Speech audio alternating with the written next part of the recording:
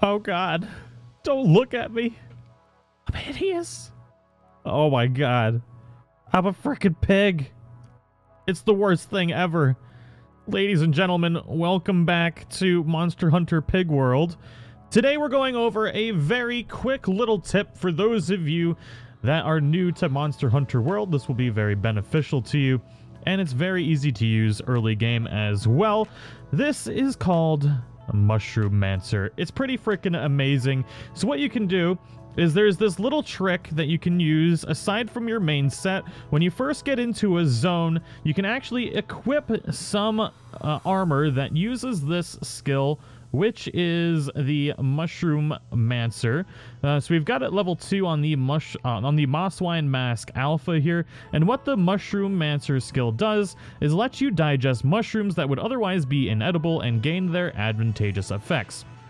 So this is very cool, and a lot of things I'm going to show you right now will last for your entire quest until you die. So if you do happen to die, you can go ahead and just re-equip the uh, Mushroomancer stuff, and then redo all of this. So, a couple things here. We'll go over the Parashroom here, which will give you a defense boost. So this is an armor skin. Now this will last for the entirety of the quest, and then you can go ahead and use Devil's Blight, which is the dash juice, which will also last the entire fight, which is amazing. So that will have the amount of stamina that you use per action, which is very amazing.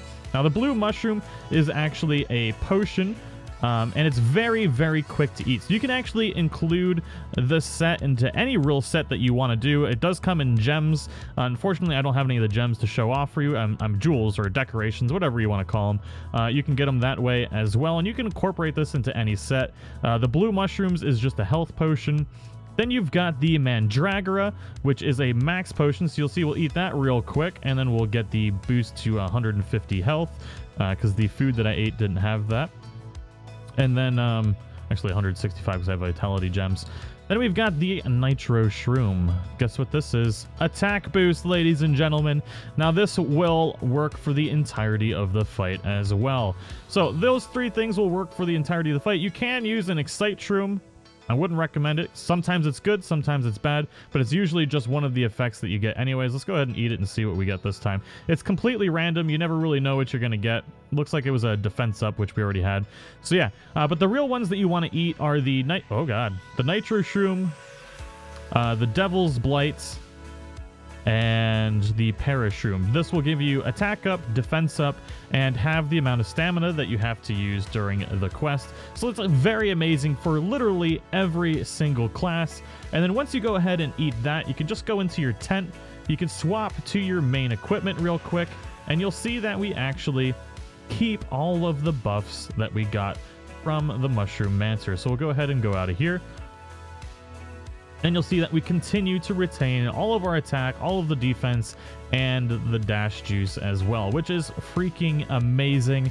It's just a little, not necessarily a hack, it's meant to be in the game, but a lot of people don't know about it. Uh, a lot of the veterans, you will know this, but you guys got to remember that there's a whole bunch of people now being introduced to the game, and a lot of these little tips will help. So, anyways, I hope you guys all enjoyed this quick little episode.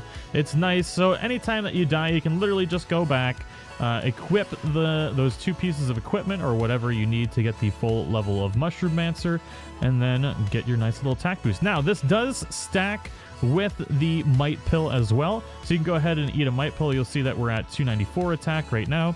You can eat the Might Pill, and that will stack. So we have a uh, 326 damage. I, I sorry, it's not the Might Pill that stacks. It is the actual powders that stack. There we go. So the Might Pill and the Adamant Pill actually overwrite because they're, they're significantly stronger. Uh, but if we uh, go ahead and use this Demon Powder, the Demon Powder does stack along with everything else. So we have 307 attack now, and then uh, we can go here, the Life Powder. That's the that's not life. I meant to use the hard shell powder. There we go. And now our defense is at 444, which is pretty freaking awesome. So um, you can go ahead and use these when you're out and to get the stacks of the attack and defense. It's pretty nice. So it's definitely something that you want to use. There's really no reason not to, unless you don't want to spend the time just to go into your tent and switch armor pieces. But it's pretty beneficial. I hope you guys all enjoyed it. I'm actually working on building a Lord of the Mushrooms sword and shield build, which is absolutely amazing. It's going to be wide range and mushroom mancer. If you guys want to check that out, it's going to be freaking amazing. We just spent the stream farming it up, and this will allow you to be pretty much the best support that you can possibly get in the game. Instant healing or crisis healing, it's insane. You can completely buff your entire party, and it just makes things go so much faster. So keep an eye out for that on the channel. If you are new, don't forget to subscribe. And if you found this video helpful, or at least fun to watch, smash that like button. And I'll see you all in the next one. Bye-bye!